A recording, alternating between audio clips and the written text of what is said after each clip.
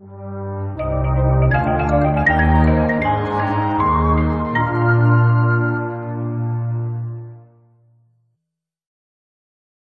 everyone and welcome to the 16th lecture of the tree series. In this lecture I'll be discussing the problem fixed length paths 2. So the problem says given a tree of n nodes your task is to count the number of distinct paths that have at least k1 and at most k2 edges. This is the sample tree given and we need to find the number of paths for that has a number of edges between 2 and 3 and this tree from 2 number of paths with length 2 are just one which is from 2 to 3 so firstly from 2 to 3 next from the second node the number of paths with length 3 are from 2 to 4 and 2 to 5 so 2 to 4 and 2 to 5 now from the first node the number of paths with length 2 are 2 from 1 to 4 and 1 to 5 and 1 to 5 right. Nextly we have two remaining paths so just one remaining path which is 4 to 5 which consists of two edges.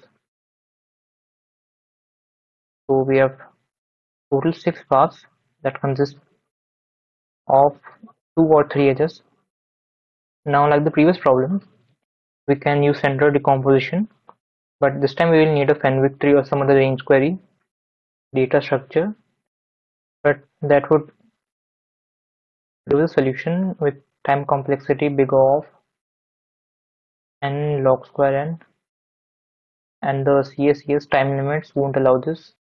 Thus we will be using small to large merging in this problem. Now for this problem we'll be maintaining a suffix sum count array for each node. And the merging of two suffix sum uh, arrays would be time complexity would be minimum of minimum of let's say two suffix sum arrays are a and b. And the sizes of a and b are this. It would be the minimum of this right? So big O of now let's say we have a node u. And let's say for the new node suffix u d gives the num count the number of nodes with d depth from d till infinity right? So greater than d basically. Let's say u has children v1 v2 v3 and so on. Say vn now there's some vk between. And let's say I have processed all these nodes and I have merged the I firstly I know the suffix sum arrays of all of these nodes and I merged them into u for now and now for the suffix sum vk to find total number of paths contributed by this child and the subtree of this that passes through U. Now, if at, at a particular depth d of this vk, I want to calculate the number of paths contributed by all the nodes with depth d. This would be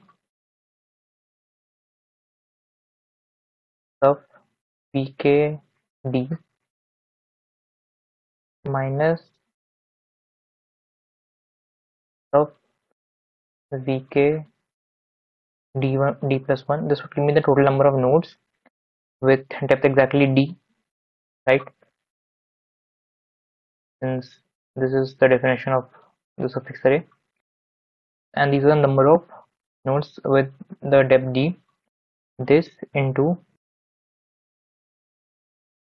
I have sub u for u which is the which have which is from which is formed by the merging of all of these previous nodes. Now number of paths contributed by all the nodes with depth d would be this part multiplied by of u k1 minus d minus of u k2 minus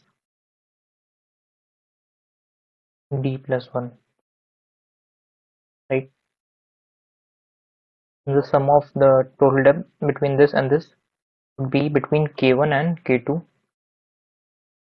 for all such possibilities in this suffix of this child subtree we can calculate the total and then we can merge this suffix array into the suffix array for the parent. This we will do by firstly identify identifying which is the smaller suffix array. And we will merge that particular into the larger one. And then we will continue by doing for all children and since this would be in a, DFS firstly we will process all the V then you when you will get completed it will return to its parent and so on. Now let us look at the code. Firstly we will take the input for the tree and then run the function calculate suffix for the first node with parent as 0 now we will be using deque as the suffix array suffix count. And for each child if we firstly find the suffix for the child and then merge these two. During merging firstly we'll find the firstly we'll swap by and firstly we'll make sure that the b suffix has the smaller one. Then we'll calculate the answer like I explained. And then we'll merge the b into the a1 which is the larger one. And then it will continue for all children and then it will return the particular suffix and then we'll print our answer. So that's it. Make sure you subscribe and share this video. Thank you for watching